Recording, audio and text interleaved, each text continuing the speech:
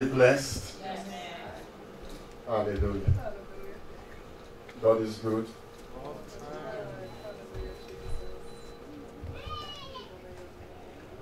Let's go to the Word of God. You know, we've been speaking since, we've been praising Him, we've been giving testimonies, we've been praying. So we've been doing all the speaking. And God has been doing all the listening. So now He wants to talk back to us. Amen. And He has something to say. Hallelujah. Today, we want to talk about GPS. GPS, and we're talking about divine shiftings. You see, I drive, so I have to use my GPS to get to where I want to get to. And once in a while, my GPS can be very erratic. I remember once I put my home address for New Jersey, only to discover that there's a similar address in Philadelphia and in Delaware. You know, so sometimes I have to be very careful when I press my home address because it has like three, four of that same address in different cities. And even when my GPS is taking me to the right place, something can just get into its mind and to be taking you in the opposite direction. Those that drive understand what I mean. Sometimes it just be taking you round and round and round. And after a while, you just switch it off and say, you know what? I'll get there on my own. So tonight, I want to talk about GPS, device shiftings. GPS, God's positioning system.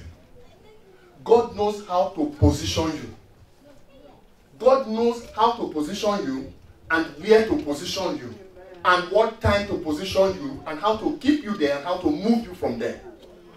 So God has a GPS, his positioning system. And God will shift you from one place to another because he has purpose in mind. Now,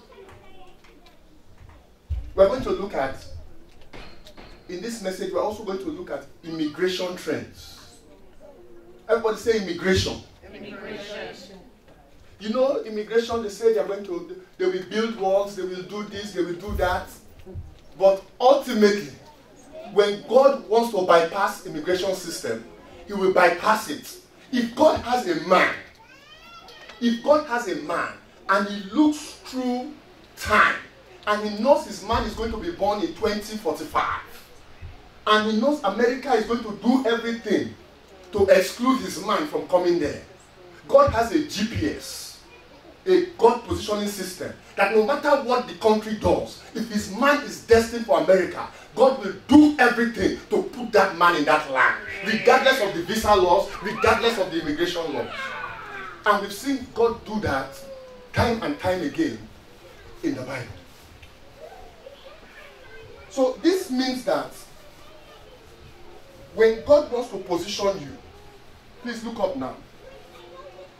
It is dangerous for you to position yourself.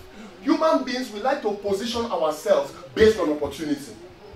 Ah, America is a rich country. Let us move to America. Ah, it's happening in Australia. There are jobs in Australia. There's very good opportunity in Australia. Let us all go to Australia. So we start to fight to go to where there is abundance. Everybody wants to leave poor country and go to wealthy country.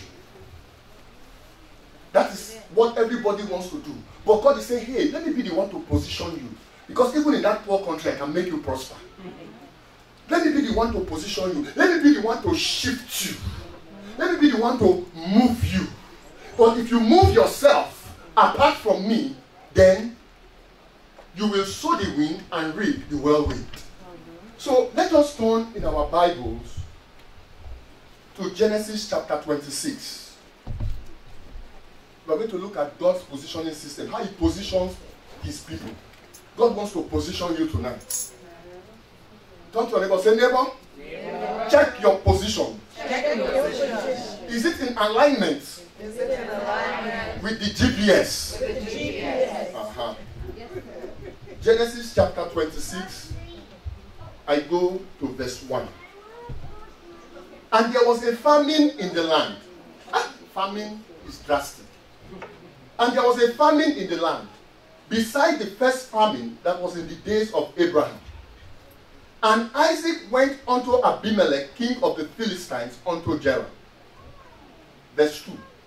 And the Lord appeared unto him. The Lord appeared to Isaac and said, Go not down into Egypt.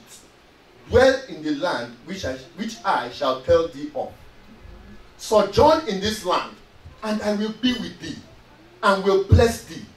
For unto thee and unto thy seed I will give all these countries, and I will perform the oath which I swear unto Abraham thy father. So there is a famine in the land. So Isaac says, "Ah, This famine is getting intense. I better move to Egypt. Because Egypt, they got garlic, they got onion, they got grain, they got everything in Egypt. So this place where I am, there's a famine. So I think I'm about to move to Egypt. And God appeared to him. And said, Where are you going? He said, God, I'm going to Egypt. He said, No, stay here. I'm going to position you here in the midst of this famine, and I will bless you. And I will bless you. And if Isaac stayed there, he did not go to Egypt, and he was blessed. In fact, he became more blessed than the inhabitants of the land. He was greater than Abraham in terms of possession. God blessed him. He didn't have to go to Egypt. But at that time, because of the famine, many people were immigrating to Egypt. Oh, our land can't yield any crop. Let's go to Egypt. So everybody was going to Egypt. They said, Isaac, what about you? Won't you go? He said, No, I'll stay here. Because this is where God has positioned me. So many times we position ourselves based on opportunity. And when it doesn't work out, we begin to pray to God. God help me. God send rain. God send blessing. God open the door. God says, But I did not send you to Egypt. Go and position yourself where I told you to be. And the blessing will meet you there.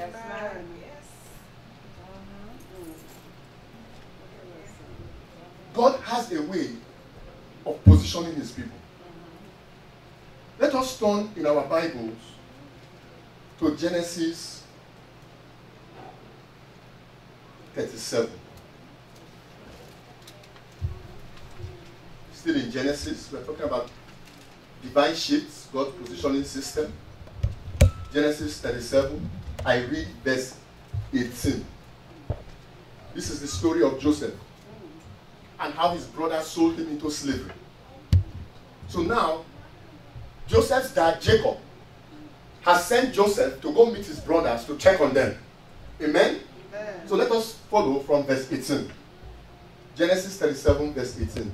And when they, that is Joseph's brothers, and when they saw him afar off, even before he came near unto them, they conspired against him to slay him. So here is Joseph coming to meet his brothers. His father sent him on an errand, and his brothers saw him afar off. They saw him coming, and they began to conspire among themselves against Joseph. So they have seen Joseph, but Joseph has not seen them. So they begin to conspire against themselves. And in a nutshell, for the sake of time, the conspiracy is this. Look at that dreamer coming. That one that thinks he's better than us. The enemy has seen him afar off. The enemy knows his destiny. The enemy has seen you afar off.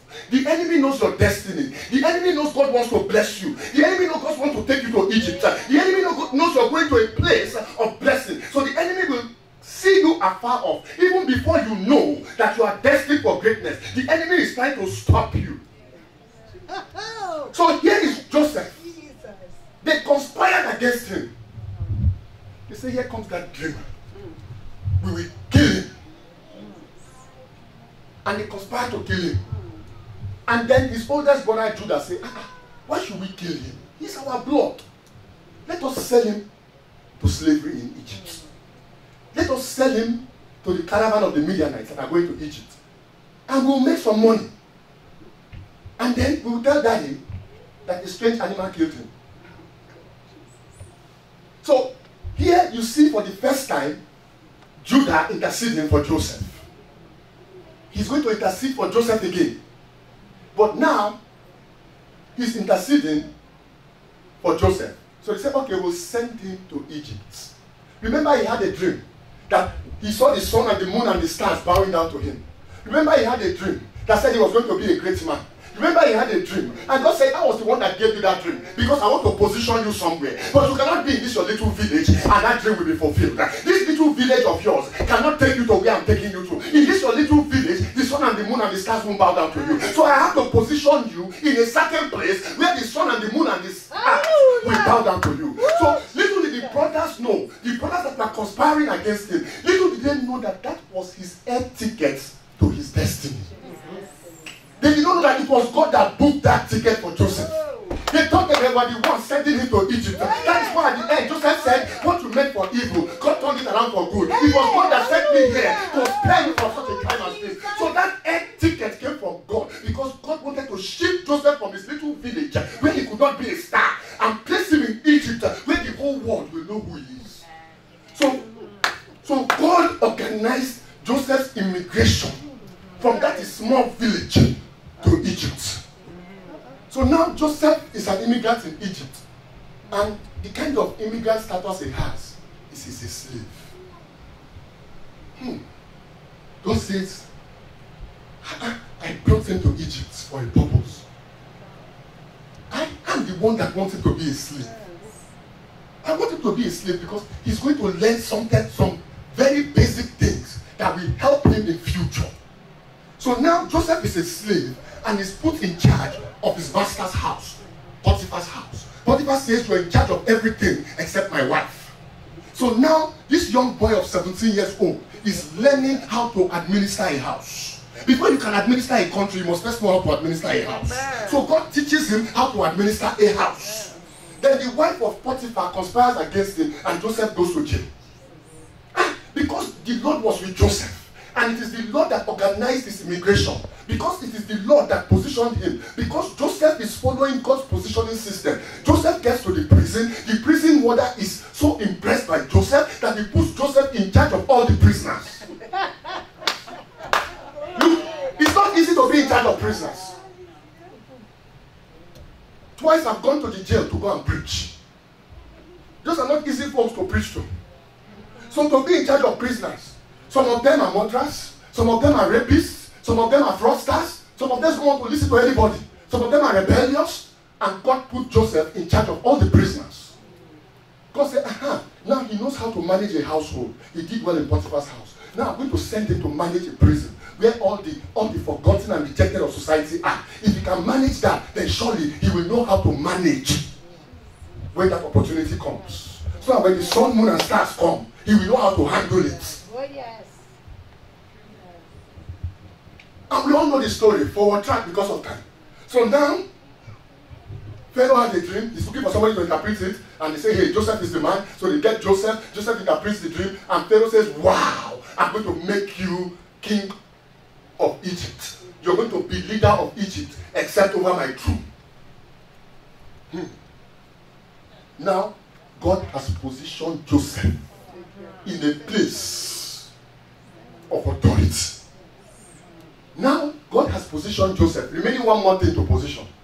He now has to position the sun, the moon, and the stars to bow to him.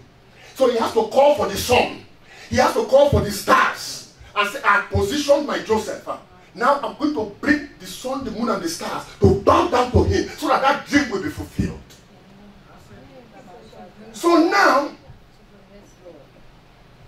Joseph's brothers and his dad Jacob, they are facing extreme famine. So they have to go to the land of Egypt. So they go to Egypt. Joseph recognizes them, but they don't recognize Joseph.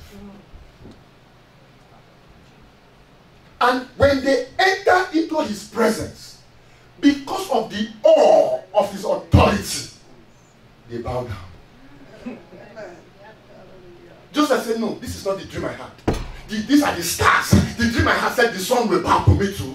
The sun hasn't come. So he's going to send them back and tell them to bring the sun. Because the dream he had, the sun also bowed down to him. He said, These are just the stars. I'm waiting for the sun. This dream has not been fulfilled yet. So they get green, they get all their supplies, and they go back to their dad. They say, Daddy, you won't believe. We met this man. We don't know who he is, but he knows everything. He knows everything about us. He even asked for his younger brother Benjamin. He even asked for our younger brother Benjamin. He said, next time we're coming, we should bring Benjamin. Jacob said, no, you can't bring Benjamin.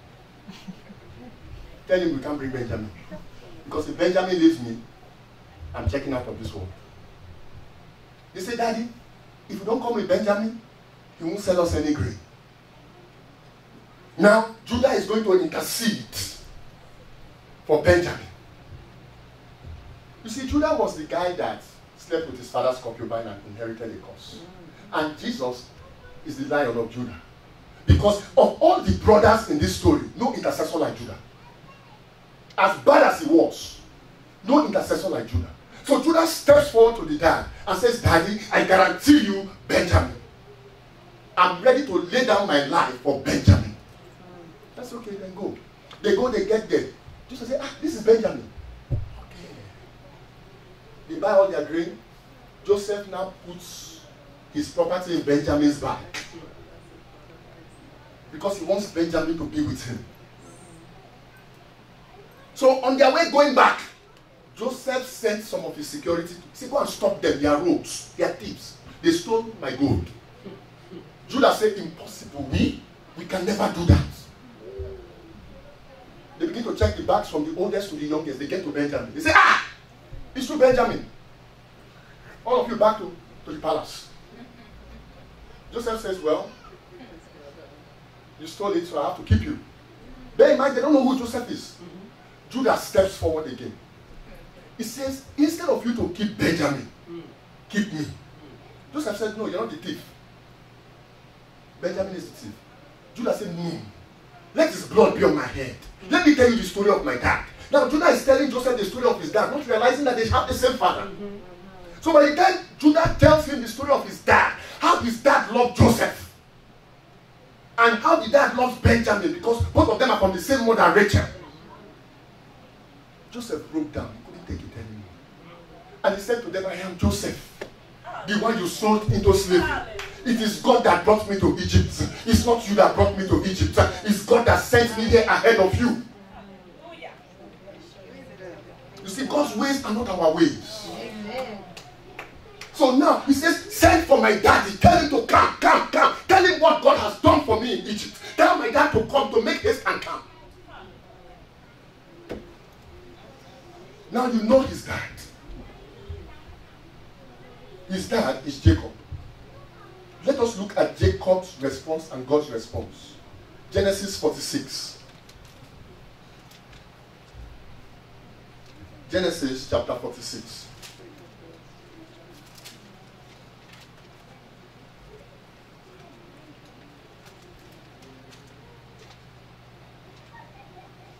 I read from verse 1. And Israel, Israel being Jacob, and Israel took his journey with all that he had and came to Beersheba and offered sacrifices unto the God of his father Isaac. And God spake unto Israel in the visions of the night and said, Jacob, Jacob. And he answered, Here, man. And he said, I am God, the God of thy father. Fear not to go down into Egypt, for I will there make of thee a great nation. So God tells Jacob, don't be afraid to go to Egypt. God is positioning Jacob in Egypt. God is now organizing for Jacob to go to Egypt. That means Jacob is not coming back. He's going to settle in Goshen. His, his immigration status is about to change. There's going to be a divine shift. So here God raises up Jacob and he assures him, he says, I am the one sending you. Don't be afraid. Go to Egypt. Go down to Egypt. Verse 4. I will go down with thee into Egypt. You're not going by yourself. You are not on your own. I am going with you. Many other people went to Egypt on their own and became slaves there. He said, I am the one going with you. He says, I am going with you. I will go down with thee into Egypt, and I will also surely bring thee up again. In other words, you will not be trapped in Egypt. I will go with you, and I will bring you up again. and Joseph shall put his hand upon thy eyes. Ah! Jacob needed to hear this. Let me tell you why he needed to hear this. Because this is his second immigration journey. Immigration journey was when he duped his brother Esau for the birthright and he had to run away to go stay with his uncle Laban. So when just when, when, when Jacob ran away, because he was a trickster and he stole the birthright of his brother, he ran to his uncle Laban. He ran with nothing. When he ran to Laban, he had nothing. He was a nobody. He had to walk to marry his first wife, Leah. And that wasn't even the wife he wanted. Then he had to walk again to marry the one he wanted. So, God sent him because God organized everything from start to finish. On Jacob's first immigration journey, it was God that orchestrated everything and knew he was going to stay with Laban. So when Jacob got there, he was nothing. But see what Jacob says on his return back. Now he's going back home. And he's not sure about Esau. Because Esau might want to kill him. But now that Jacob is going back home, God took him to Laban empty handed. Now God is bringing him back home with resources. With resources. Genesis 32. Let's go to Genesis 32, verse 9. Genesis 32, verse 9. Somebody with me? And Jacob said, Oh God is returning back now. O God of my father Abraham and God of my father Isaac, the Lord which said unto me, Return unto thy country and to thy kindred, and I will deal well with thee. So who is telling him to return? God. God is the one telling him to return. God is repositioning him. Verse 10. Here is reply. I am not worthy of the least of all these mercies, and of all the truth which thou hast shown unto thy servant. For with my staff, everybody catch this. For with my staff I passed over this Jordan, and now I am become two bands. He's saying, the way I passed the Jordan was just with one stick. Now I'm coming back. I'm not coming back with just one stick. I'm coming back with a multitude. I'm coming back with a multitude because it is the God that sent him there is the same God that is bringing him back. And is bringing him back with increase. You know, he could have said, if he listened to man, Bible says, Woe is he that puts his trust in the arm of flesh. If he had listened to man, man would say, ah, You want to go back there? You stole your brother's birthright. Do you think that's a good idea? It doesn't make sense to go back there. See how God has blessed you here. Why don't you stay here with your blessing? What if you go back there, your brother attacks you and you lose everything? Have you thought about that? But Jacob said, You know what? I want to be under the guidance of GPS. Let God be the one to position me. Amen. So God repositioned him and he went back. And his brother Esau had forgiven him and said, You know what? I don't need your gifts, Jacob. I don't need your property, Jacob, because God has blessed me anyhow.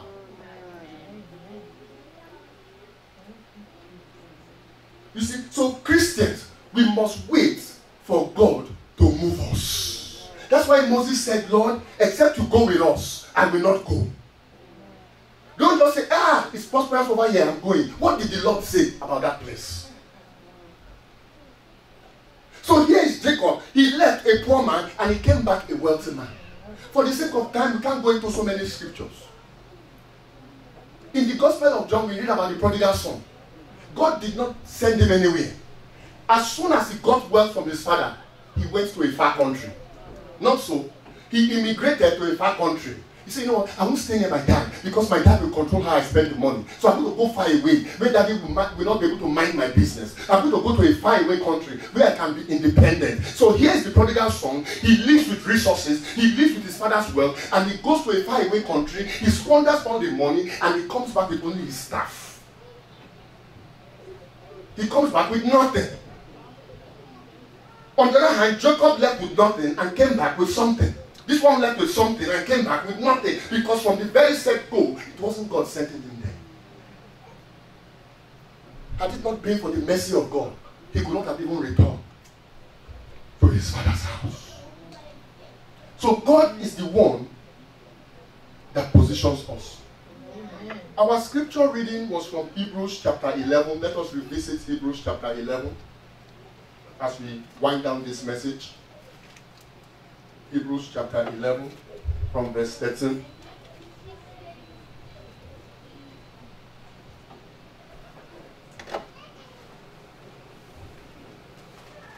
Hebrews chapter 11. I read verse 13. These all died in faith, not having received the promises, but having seen them afar off, and were persuaded of them, and embraced them. And, I want you to catch this, and confessed that they were strangers and pilgrims on the earth. Everybody say they were strangers and pilgrims on the earth. In other words, they knew that God positioned them on the earth on a temporary basis. They knew that God positioned them on the earth on a temporary basis. You see, but some of us don't know that. We dig our heels deep into the things of this world. And we get so caught up in the things of this world. And when God says it's time to come home, we start to cry. These ones, they knew that they were strangers and pilgrims. That is how God has positioned them. In closing, in John chapter 14, Jesus says to his disciples, You believe in God, believe also in me. In my father's house, there are many mansions there. If it were not so, I would have told you. I go to prepare a place for you so that where I am, you will be also. Not so, is that what he told them? Yes. So now, Jesus, as we close this message, the God of all creation has been doing some horizontal immigration, has been doing some horizontal shifting. Now Jesus says, I'm taking it to the next level. The next level is vertical immigration, vertical shifting. I am the God that prepared a place for Isaac in the land of famine. I am the God that prepared a place of blessing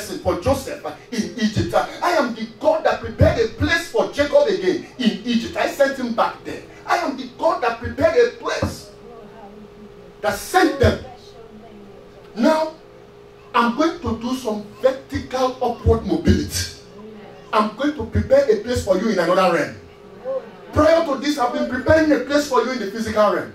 But now, because you believe in God and you believe also in me, I go to prepare a place for you. Because in my father's house, there are many mansions there. I want you to have the mindset of an alien. I want you to have the mindset of an immigrant. Because you are heaven bound.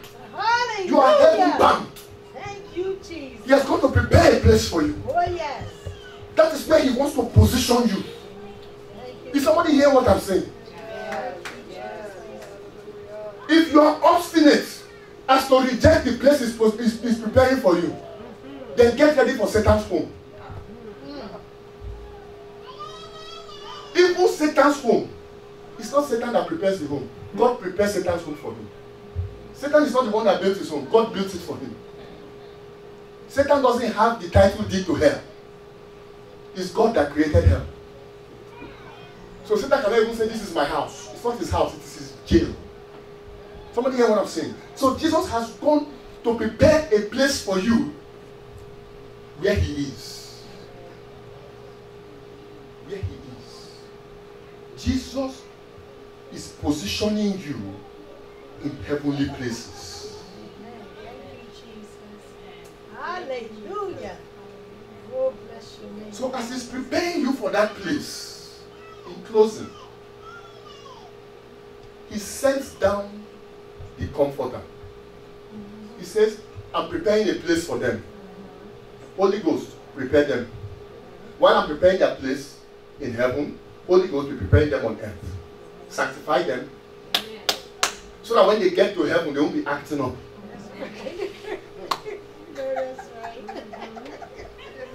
And Holy Ghost is omnipotent.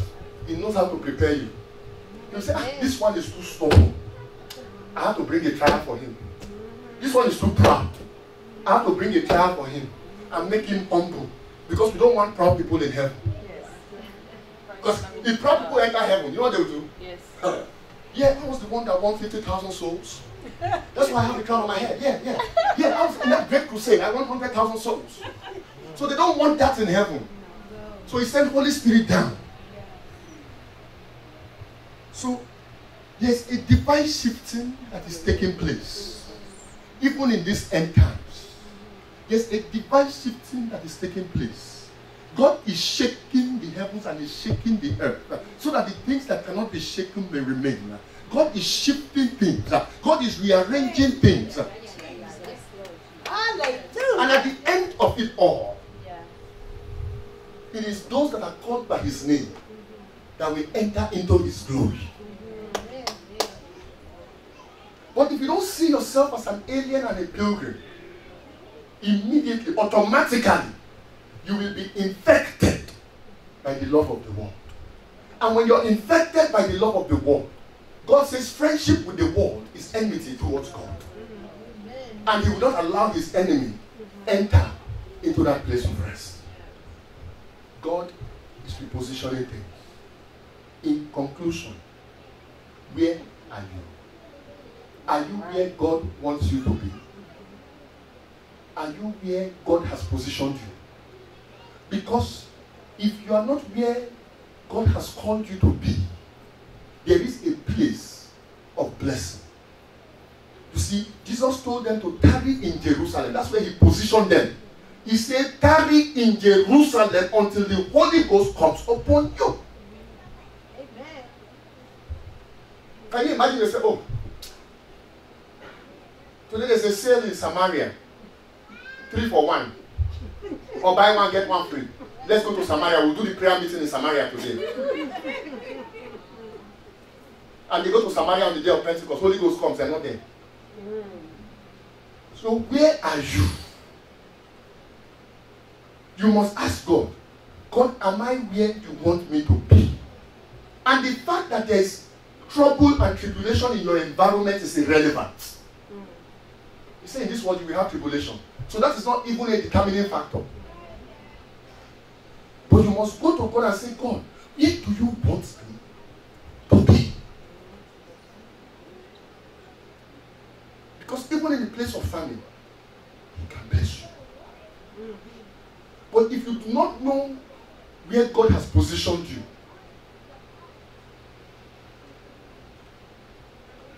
and if you are in the wrong place of positioning, can never get the right blessing.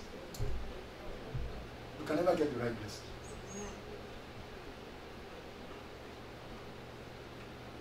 Saints, we need to be wise in this end time. Because just as God is speaking and telling us, go to Egypt, go to this place, go to that place, so also is Satan speaking. So also is Satan speaking. And it behooves you and I not to hearken to the voice of the serpent. The serpent also has his own GPS. God bless you. Praise the Lord, somebody. Praise the Lord, somebody. We are heaven bound. He's positioning us for heaven. In the name of Jesus Christ. We are going to pray. We are going to pray.